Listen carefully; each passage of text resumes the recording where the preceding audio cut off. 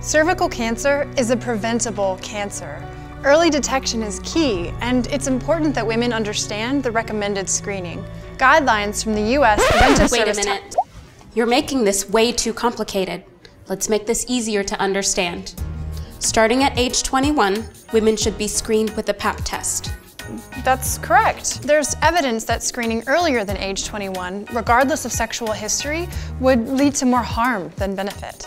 The PAP test looks for any abnormal changes in the cells on your cervix that could lead to cancer if not treated. If everything looks good, you get another PAP test in three years. No more annual PAP. It is true that screening with PAP more often than every three years confers little additional benefit. Uh huh. Like I said, starting at 21, PAP test every three years. Then, starting at age 30, women should get co tested with a PAP and an HPV test. The PAP test looks for cell changes caused by human papillomavirus, HPV. The HPV test looks for the virus itself, specifically the types that are linked to cervical cancer. True. Co-testing every five years offers a comparable balance between harms and benefits. Mm-hmm. Age 30, co testing every five years. Co-testing age 30 every five years. Then, that magical age, 65. At age 65, if you've been regularly screened in the past with no recent problems, you can stop screening. You're done.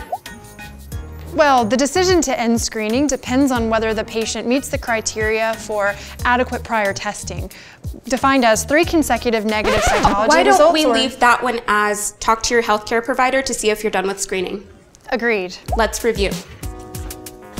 Starting at 21, PAP test every three years. Even if you've been vaccinated for HPV.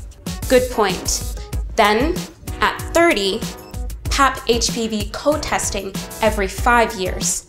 And then, at age 65, you're probably done, but check with your healthcare provider. If you have an abnormal result along the way, you may need additional screening or follow up, but your healthcare provider will help guide you through that. Right, Doc? Of course. And if you've had a hysterectomy, total or partial, Talk to your healthcare provider to see if you still need to be screened. Regular screening can prevent cervical cancer. If you want to learn more about it, or if you want to learn more about a new HPV test approved for primary screening, go to ashasexualhealth.org. and talk to your healthcare provider. Of course.